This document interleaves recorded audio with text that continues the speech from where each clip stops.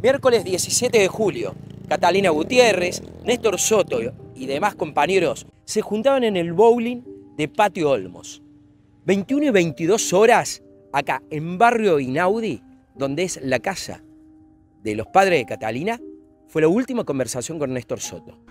Ocho minutos desde Inaudi hasta Barrio Jardín, calle Podestá, Costa al 3100. Llega aproximadamente 21 y 30, 21 y 35. Acá vivía Néstor Soto. Hay una excusa de Néstor para que baje Catalina. Le declara su amor, no le corresponde Catalina y se desencadena el hecho. En esta casa, en este departamento, es donde termina matando a Catalina. Una cámara del frente de esta vivienda y otra cámara serían claves esas filmaciones en donde muestra a Néstor Soto sacando el cuerpo de Catalina Gutiérrez e ingresándolo en el auto de la mamá de Catalina, el Clio que estaba estacionado, esta es calle Rimini al 300. Acá hay dos cámaras que muestran el Clio que pasa a las 23.01 por esta calle y en Echagüe toma hacia la derecha. A 30 metros, el descampado. En la misma posición que este vehículo estaba el Clio que conducía Catalina Gutiérrez.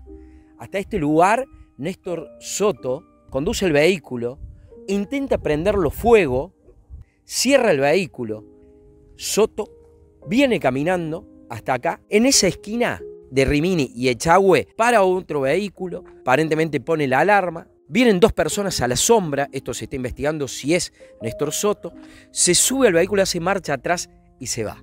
Desde este descampado hasta la casa de Néstor Soto es un kilómetro y medio. Hay un llamado telefónico de la mamá de Catalina a Néstor. ¿Está ahí Catalina? No, no está el auto acá. Eran 23 y 2 minutos. 23 y 30 horas de ese mismo miércoles 17. La familia ya estaba haciendo la denuncia acá en Barrio Inaudi. Ya se sabía la desaparición, no se sabía dónde estaba. Hasta acá se llega Néstor Soto, acompañado por el novio de Catalina y otro de los compañeros de arquitectura. La policía informa que habían encontrado ya el vehículo y que es Catalina Gutiérrez Néstor Soto abraza a la madre acongojado y le dice quién fue el que hizo esto.